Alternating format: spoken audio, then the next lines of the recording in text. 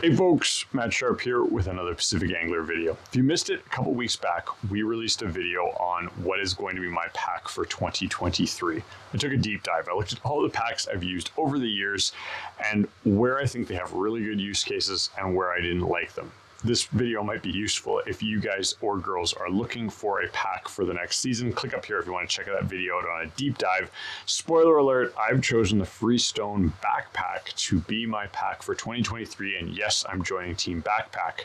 In this video, we're going to be looking at what I put inside that pack. Now, if you're considering the Freestone, check it out because I got some really cool hacks on the Freestone specifically that I think are going to make this pack just about perfect for what I'm looking for. But if you're not considering the Freestone, if you're not joining Team Backpack, don't worry. If you got a sling, a hip pack, a backpack, it doesn't matter.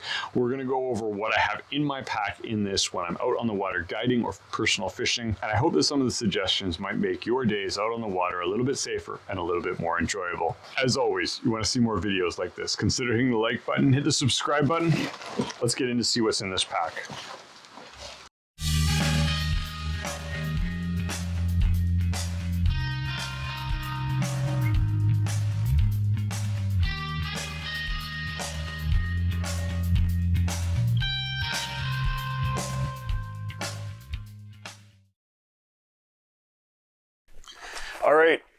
Here it is, the pack I am going to be using for 2023. What we're going to do today is look at what I've got for tools, for fishing gear that I cannot leave home without. We're also going to look at some essentials that I recommend you carry, even if this isn't your pack. And heck, if you are getting the Freestone backpack, I think it's a great one. And I am going to show you some tricks that I've learned to make this a little bit more convenient for at least my fishing use case. So let's start off with the outside first. And a couple things you might see here that are a little different. The first one is these two little toggles. Uh, these are fishing butlers, but they're fishing butlers that are longer than your standard. I want to say they're seven inch or eight inch. And what that's going to allow me to do hooked into this little loop here on the side of the Freestone pack is I can carry extra rods. Now, for most people, you don't need to do this, but when I'm guiding, having a backup rod is essential. And when I'm personal fishing, it's pretty common I'll bring two rods. Uh, I'll bring a spey rod and maybe a bull trout rod. I'll bring a float fishing rod and maybe a spinning rod. And this is a really convenient way to do it with a lot of packs as long as you have a loop. It's not too expensive. These cost like three bucks, but we've got our water bottle holder on the side. I'm not gonna use it for a water bottle holder. All we need to do is loop that through there and jam that in there and tighten her up. And then boom, we've got a rod. It ain't gonna fall off. I can even have this fully strung. We're definitely rigged in four pieces so that I can quickly change to whatever it is. Now, one note for those considering this pack, the water bottle holder is on your left-hand side, and that is awesome for right-handed casters, not so awesome for left-handed casters, uh, but just a note if you're considering this and you're a lefty. So here it is, and I'm gonna pop that out so it doesn't get in our way, but you can see how quick that is to run a second rod. And if this were rigged, I'd be in the game. So two of those, I can literally stick two rods in there depending on the reel size. Now over onto the back, let's talk about this pocket that I've been debating. If you guys saw my earlier video, I'm not sure how I'm gonna use this, but I think I've figured it out. I think I'm gonna use this for my water bottle. And what do I carry as a water bottle? This is a Grayl. So this guy is cool. It works as a water bottle normally, uh, but if you pop it open, check, I can pull that open, this acts like a filter and it actually looks like I need to do a little cleaning on this guy. But we can fill this up with uh, river water, pop this on, filter it down nice and slowly. Takes a little bit, you gotta work on it. I'm gonna leave that off to the side, but we can at least get drinkable water. Now you don't have to do that every time. You can just fill it up and use it as a standard water bottle and that's what I do for most scenarios. Uh, but I like it, it's a small one, it's not too heavy, it's not a big one. Now, net release. This is critical. This is the Fishpond one. It's the Confluence. I think it's the best. I've tried a few. They work. Uh, when you're putting on, it's a little counterintuitive. Separate the two apart. Get the magnet that has the lanyard on it. Use the keychain on here on your D-ring with the magnet right there. There's your lanyard. And what I love about this is this fast release. Some of them are not fast release like this. You have to sort of put the net on and everything and you can't get the net off you. But here's my net and all we need to do is this uh, rubber piece here uh, clips on there and we're in the game. We've got the net hooked up and boom, it's there and it's strong. I moved this over from my other pack. I really like it. And why do I really like it? Well, the biggest one for me is to take the net off of the lanyard. And what do I mean by that? Well, we pop it out, we land our fish, now we want to hand it to our buddy. We want to keep that fish in the water. We want to keep the net in the water where we're looking for gear, where we're looking for a camera, heck, where we're looking for forceps. And all I have to do is reach up here, pop this, and we're off and I can pass that net off or I can hold it while I'm dickering around and it's not connected. I don't know how many times I've literally had to like take off the sling or fiddle around with something that isn't convenient to get the net off so we can keep the fish in the water. So I love that. This isn't a net video, but a couple things that I do with my net that might be useful to you is uh, I put a thermometer on it. And it's super funny. I always forget to take water temperatures and it's something that can be fairly good if you're good at taking records. You can figure out how a system works and why something is happening when it's happening. And maybe I'm out on the Skagit and there's a hatch happening. I never remember to take the temperature, but that's a useful thing to gauge because you can tell sort of where things happen when it comes to bugs. And obviously for steelhead, there's certain temperatures where it's almost a waste of time. And there's certain temperatures where you may go with a lighter sink tip and cover more water than a heavy sink tip. And this just reminds me to take it when it's out there and it's easy. I can pop the net off, literally stuff the net underwater. I've got something to hold on to so I'm not putting my uh, hand in the freezing cold water get our temperature. Now, the other thing I have is I do have a tape measure uh, because we all like to exaggerate and this keeps me honest. When someone says, oh, that's a 28 inch rainbow, and we all know it's actually 26, at least I'll have something to gauge. And this guy retracts, he's a little old, but it works well for that, and it's handy. Again, you don't go for the tape when you have the fish in the net. Why? Because we want to get those fish back released safely as quickly as possible. And so having it quick at hand when you need it, where you need it is critical. So that's my net setup. I'm gonna put that aside. Uh, okay, what else do I got uh, on the outside? Let's talk tools. So on the go and this pack is super light. Like I've got a fair amount of stuff in here and it's way more steady on my body. And as you guys know from my last video that's why I'm going this route is because I don't carry that much stuff. I try to stay lean and mean. I don't like being a GI Joe on the river with about a billion things hanging off me. But when I'm guiding or maybe I'm taking photos I do carry a little bit more than normal and this is gonna give me a really good balance with that metal stay that we talked about. So what do I got for tools? Well on my left-hand side, I've got my two essentials. These are the ones you need at hand really quick. First off, I am a member of the way too expensive line clipping club. I totally recommend nail clippers for three bucks, but this Simms one is nice and it does make me smile every time I cut line with it. It's been really sharp for me, really clean. It's got a couple little features that I do like, a couple creature comforts. It's got a hook line clearer and it is magnetic. So when it lashes onto my forceps, which I do have on the same thing, it sort of stays without clanking around, which I like. Now, forceps. These are actually mitten clamps, which is a little bit different than a forcep, and I strongly recommend mitten clamps. What is a mitten clamp? Well, see it's got this loop to it. The wonder of this is, you know standard forceps, you have to fight and sort of open them. This, all we have to do is crunch down and it opens up really cleanly. It's easy, it's out of the way, there's no forcing it. The other thing I recommend, whether it's forceps or a mitten clamp, is get the one with a cutter in it. So this is like a small scissor cutter right at the base. And I don't know how many times I've been trimming up a fly or a jig or fly line needed to be cut and nippers work, but it's not as good and clean as that. And this line cutters come in handy a lot. Now, one caveat, if you're fishing large hooks, you're a saltwater guy, uh, you're out doing heavy salmon work with like 3-aught, 4-aught, 5-aught, 6-aught hooks, when you put the scissor cutter in, you lose some barb chomping power. Now for me, that's not a big deal. I very rarely use large hooks. If I'm saltwater fishing, I have a pair of pliers on my hip. And so this works great for, I'd say, anything one aught and down and you're in the game. So those live handy where I can get to them, I can get to the fish, get the hook out or get the barbs out or heck, get them out of my buddy. Now I can clip that in, that goes up into the Simms tool caddy and we're in the game. Now on the other side, I do have another one. Which zingers do I use? That's a good question. I love the Fishpond one. It's a little more expensive. It's on this set, it's aluminum. I've actually got another one in the pack it's held up amazing for me. This one's like six years old. I've beaten the snot out of it. I've stretched the heck out of it, and it's done well. This is the Simms one. This is more cost effective and good. I don't think they are as durable, but you get what you pay for. This one has something I use way less, but I still want at hand. And what is that? Well, that's my hook file. There is nothing worse than looking down at your hook going, that's a little bit dull, and then being too lazy to go into your pack and get out your hook file. So this lives with me really close, easy access. I don't have to think about it. Grab it if a hook is even remotely dull and it sticks right in there so it's not flapping around. Here is my fly patch, and I will tell you gear anglers that you'd probably like a fly patch as well. I see it all the time. There's a uh, piece of Velcro here, and that does work. You can put stuff into the Velcro, but you are going to lose stuff out of that. Buying one of these fly patches, popping it on, work it in like that to keep it to stay. Once they're there, they very rarely come off when you don't want them to. And when I'm float fishing, for example, I'll have maybe a jig or a Colorado blade, a change up right here so I don't have to go into my pack to make a quick change or flip it around when I'm fly fishing. I definitely have a pattern or two up here that I can make a quick change to where I don't have to think about it. And this keeps them from falling off. So grab one of those, highly recommended.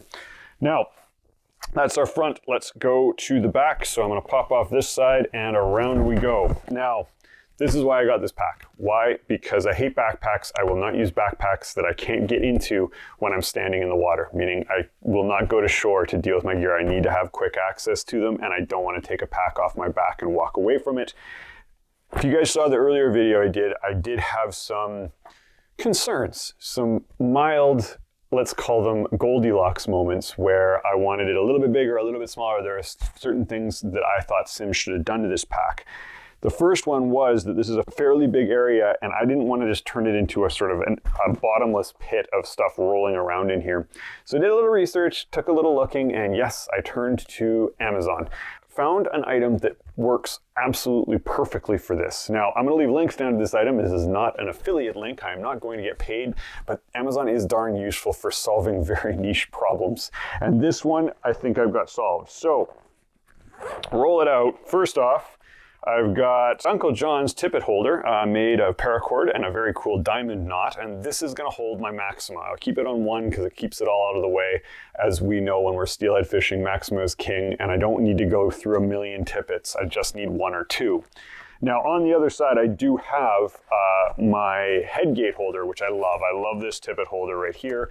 Got another one of them right here, so you can see it. That hooks in. This has got my more finicky stuff, my fluorocarbons, my lighter stuff. Let's say I'm bull trout fishing or I'm nymphing. This is where I go, but it's used less this time of year when it comes to steelheading, but I still throw it in because you never know.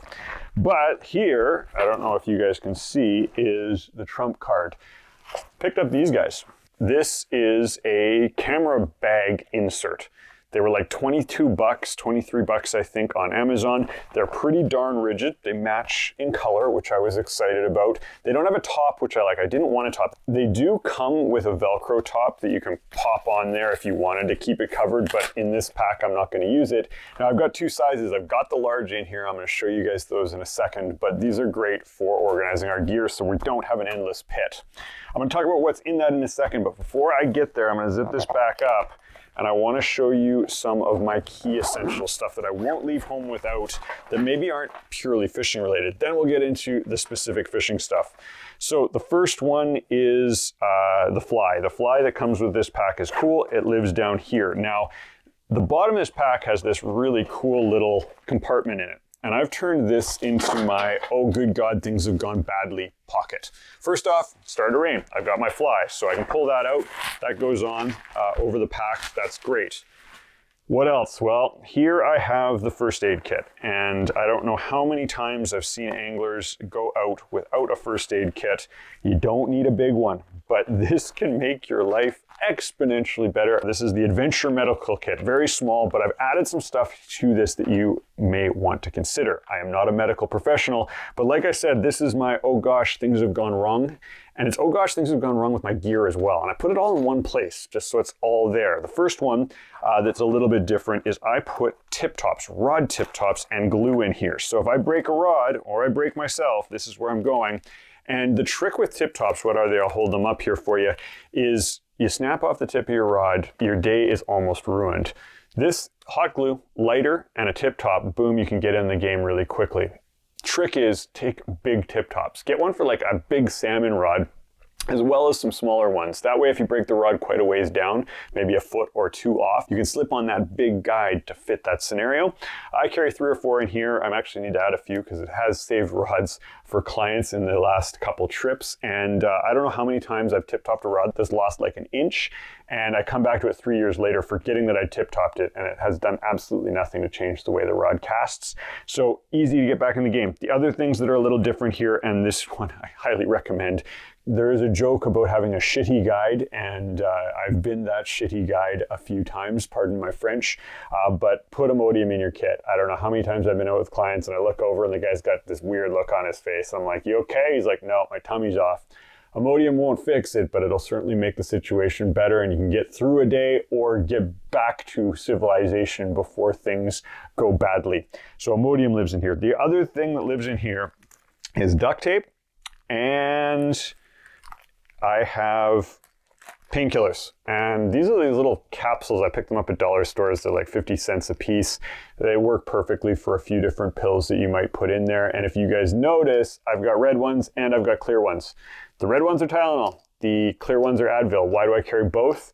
Well, the red ones are good for blood, meaning they don't make you bleed out. Again, I'm not a medical professional. I take no responsibility for a mistake made with medications.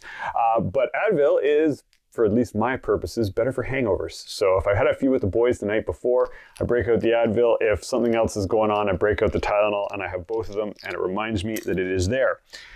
What else is in this? Well, probably one of the more important things and that I have used uh, is this little EDC flashlight. I don't see it there without everything falling out, but this guy is called an Aurora. It's about 30 bucks. It's rechargeable and it's super bright and it gets me out of a lousy situation or a good fishing situation. I don't know how many times I've been on a river and the hatch is going off and I stay a little bit later than planned. Sure, I could carry a headlamp. Sure, I could carry a flashlight, but I, tend to never do it. I always forget. And having this is great. And I have actually had times I've been out and I have a headlamp and a buddy comes out and we get jammed up. We stay a little bit later than expected. And he's like, I don't have a headlamp. I don't have a flashlight. Well, I give him this. He's got something to see where his feet are. And I've got the headlamp and we can get out without a concern.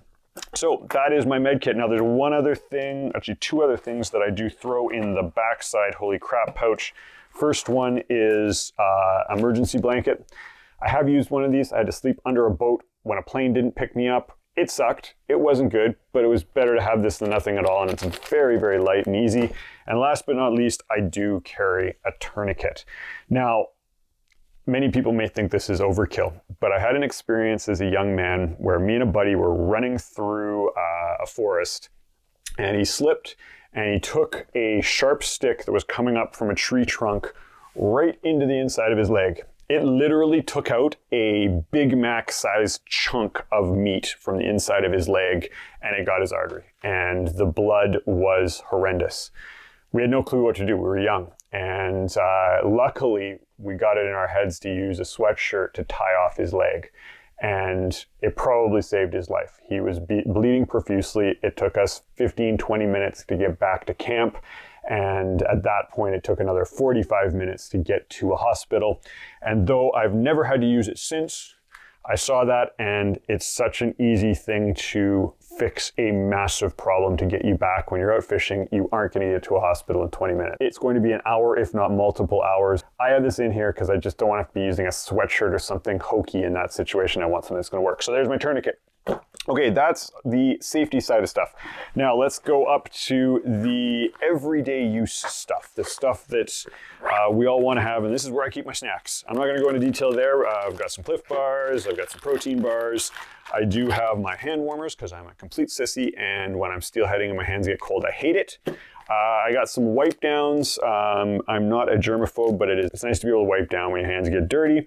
I love these. These are a shout. These are Honey Stingers chewables, and uh, this is kind of like a coffee in a gummy. Uh, and it's not going to get you jittery. It's not over the top like an energy drink. But you know that day at like 2 o'clock, you haven't hooked any fish, you're getting a little down on life. I pop one of these in, and I'm back in the game. And so highly recommended Honey Stingers and these guys. What is this? This is called a Wizzy Wipe. It's basically a pill that you got to put a little bit of water on and it opens up into a big, fairly durable cloth. Uh, I think you get like 20 of them in here. I go through at least one of these a season, and this is my toilet paper. This is my wipe down. This is a very, very useful and small thing. It's not much to put this in any pack, and you don't have to carry a big spool of toilet paper, etc. You know you've got it. So that lives there, super useful. Okay, so that is the sort of comforts. And I put that right at the top because I want to get to them quick and I don't want to have to think about it. Now, a little less comfort, but uh, still useful is this top pouch. It's got a cool key ring in here. I might put my keys in there. I don't particularly like putting keys in a pack because I don't want to lose it. This is the stuff that's a little more rarely used. First one is sunscreen. I always forget to put on sunscreen. Even in the winter, it gets sunny and I am fairly pale. And the joke is I take my shirt off and the sun comes out and I get burnt really easily. This is 50 SPF. This is the Fishpond stuff. And why do I like it in a stick? Well, I don't want to get it all over my hands and get it all greasy and get it on flies and get it on stuff. I also want to do it quickly so I can reach in, and grab this, put it on where it's needed, throw it in. And this one's lasted me a long time. I've had this for four or five years and I use it a ton. Uh, so highly recommended. What else I got? Well, I got another lighter and a roll of duct tape around the lighter. Uh, again, useful. And I got some fire starter. It's nice to have a fire on the side of the river when things do get cold. and this makes it a little bit easier. You can also use duct tape as fire starter if you don't want to go that route. Uh, but there we go. Now, in this pack, the way I have it set up, I can also fit a puffy, a jacket, and a lunch. Obviously small, uh, but if I were just to carry one piece of clothing, it would be a hat. Shout out to these guys, they gave this to me last week, but I've got a toque like this in every single one because it's one thing we can do to keep warmth on our head. And that's one of the easiest ways we lose heat in either a safety situation or just make your life a little less miserable. So my toque lives there. Okay, that's all the boring stuff. That's all the stuff that I definitely carry uh, when I'm out, no matter what fishing I do. But let's take a look at what I'm going to be carrying for steelhead season. So we already talked about John's lanyard. We've got uh, Maxima. I like to carry uh, 8 pound, 10 pound, and 12 pound. 8 pounds more of a bull trout thing, 10 pound is sort of in the middle, and 12 pound is your steelhead size. Uh, why do I carry Maxima? It's really durable. When I'm swinging a fly, I don't care if it's clear, uh, this is what I use. I won't go into a rant there. Now on this side, I carry a full stack uh, for nymphing specifically, but you never know what you're going to get. I'm not going to go into which I carry. You guys get the drift there. Now, in here in my wonderful divider, I do have another tool set, and I've got another pair of forceps, and this is much heavier duty for bigger barbs, for bigger cutting, uh, or a nasty situation. And then I have uh, my nail knot tool. Again, this is darn useful for fixing loops on fly lines, doing knots that are a little bit more complicated than you are planning for. And so that lives in there because it's nice to have when you're guiding and nice to have if you're just out and you need to fix some problems. Uh, okay, what else now have I got? Well, let's take a peek at what I carry fly box wise. I'm not going to open these and show you what's in them. This is my bull trout box. This is a streamer box that's going to have uh, tractor style streamer patterns, sculpin style streamer patterns, my go-to whites and olives. Then I'm going to have my steelhead kit. Now, I don't carry a ton of steelhead flies. I have a bunch that are very specific, but this is all I need for a day of guiding or personal fishing.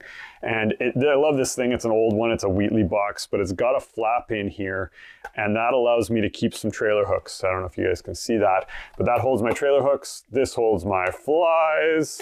It's kind of dilapidated. I need to load it up, and away we go. Now, I also carry a leaderboard especially if I'm gear fishing, this is going to have it on, or I've got clients that are, but usually I have my beads all pre-rigged on this. This one also needs to be loaded, but you get the idea. Uh, and I have my indicator split shot uh, Euro nymphing slash indicator fishing kit here, just your bare essentials, so that's easy. Then I've got a leader kit. These are awesome. Reel still makes them fold over, put all your leaders in it. Why not have them with you? I don't use a ton of tapered leaders this time of year, but it's useful to have in a pinch. And lastly, my sink tip wallet. And I don't carry a ton of sink tips. If you guys see my sink tip video, I'll put it up here if you want to geek out on sink tips. But I usually carry a light sink tip, so a clear intermediate in a 10 foot. I carry a T8, which I use sometimes. I carry two T11s because that's where I fish a fair amount. And then I carry a T14. If I'm Chinook fishing, I'll step up to a 17, maybe even a 20, uh, but not for winter steelhead. All right, so that is my pack for steelhead season in 2023. I hope you guys enjoyed this. I hope that you saw some stuff that you're going to put in your pack that might make you a little more safe a little bit more efficient out on the river. And heck, if you guys and girls saw something that is not in here that you have in your pack that you would not leave home without, I want to hear about it because I'm sure I can tweak this. I'm sure I can make it a little bit better. And if you want to see a review on this Freestone pack, why I chose it, a deep dive, I geek out pretty hard on all the different packs that are available, the ones that I love, and why I chose this one. I'm going to leave that video up here. And if you guys want to see some stuff that's in those fly boxes, I'm going to leave some fly videos down here. And as always, you want to see more videos like this, consider hitting the like button, hit the subscribe button. I'll catch you in the next one.